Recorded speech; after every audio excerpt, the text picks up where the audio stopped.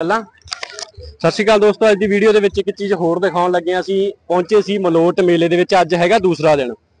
ਪਿੱਛੇ ਸਾਡੇ ਇੱਕ ਤੁਸੀਂ ਸਟਾਲ ਦੇਖ ਰਹੇ ਹੋ ਐਪਲ ਇੰਟਰਨੈਸ਼ਨਲ ਸਕੂਲ ਇੱਥੋਂ ਦੇ ਬੱਚਿਆਂ ਨੇ ਕੁਛ ਨਾ ਨਵੇਂ ਪ੍ਰੋਡਕਟ ਕੁਛ ਨਾ ਕੁਛ ਨਵਾਂ ਬਣਾਇਆ ਹੈ ਜਾਂ ਉਹਦੇ ਬਾਰੇ ਥੋੜੀ ਜਿਹੀ ਡਿਟੇਲ ਲੈਣੇ ਆ ਆਜੋ, ਉਹਨਾਂ ਨੂੰ ਪੁੱਛਦੇ ਆ ਆਜੋ।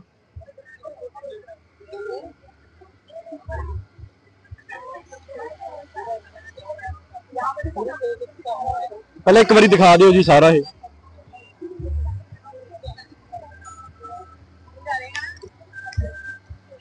ਇਹ ਟਰੈਕਟਰ ਤੁਸੀਂ ਬਣਾਇਆ? ਹਾਂਜੀ। ਓਕੇ ਜੀ। ਕੀ ਨਾਮ ਵੀਰੇ ਆਪਣਾ? ਮੇਰੇ ਸ਼ਮੀਤ। ਕਿਹੜੀ ਕਲਾਸ 8th 8th ਕਲਾਸ ਹਾਂਜੀ। ਇਹਦੇ ਬਾਰੇ ਦੱਸੋ ਮਾੜਾ ਜਿਹਾ ਕਿੱਦਾਂ ਚੱਲਦਾ ਇਹ? ਇਹ ਜੀ ਅੰਕਲ ਜੀ ਗੱਤੇ ਦਾ ਬਣਾਇਆ ਜੀ ਸਾਰੇ ਟਰੈਕਟਰ ਜਿਵੇਂ ਤੁਸੀਂ ਦੇਖ ਸਕਦੇ ਹੋ ਟਰੈਕਟਰ ਸਾਰੇ ਗੱਤੇ ਦੇ ਬਣੇ ਆ। ਇਹ ਇਹ ਚ ਦੋ ਮੋਟਰ ਕੀਤੀਆਂ ਡੀਸੀ ਮੋਟਰਸ ਤੇ ਇਹ 12 ਵੋਲਟ ਦੀ ਬੈਟਰੀ ਚੱਲਦਾ ਜੀ। ਤੇ ਆ ਰਿਮੋਟ ਕੰਟਰੋਲ ਇਹਦਾ। ਜਿਹੜਾ ਰੈੱਡ ਬਟਨ ਆ ਇਹਦਾ ਫਰੰਟ ਨੂੰ ਜੀ। ਜਿਹੜਾ ਬਲੈਕ ਆ ਬੈਕ ਨੂੰ ਜੀ। ਦੋਨੇ ਦਿੱਤੇ ਗਏ ਆ ਫਾਰਵਰਡ ਤੇ ਰਿਵਰਸ ਦੋਨੇ ਚੀਜ਼ਾਂ ਦਿੱਤੀਆਂ ਗਈਆਂ। ਤੇ ਗੱਤੇ ਨਾਲ ਤਿਆਰ ਕੀਤਾ ਹੋਇਆ ਤੁਸੀਂ ਦੇਖ ਸਕਦੇ ਹੋ। ਕਿੰਨਾ ਟਾਈਮ ਲੱਗਿਆ ਵੀਰੇ ਇਹਨੂੰ ਬਣਾਉਣ 'ਚ? ਇਹਨੂੰ ਦੋ ਹਫ਼ਤੇ। ਜੀ ਦੋ ਹਫ਼ਤੇ ਲੱਗੇ ਆ ਵੀਰੇ ਨੂੰ ਇਹਨੂੰ ਬਣਾਉਣ ਦੇ ਵਿੱਚ। ਬਾਈ ਨੇ ਸਪੈਸ਼ਲੀ ਲਿਖਿਆ ਉੱਤੇ।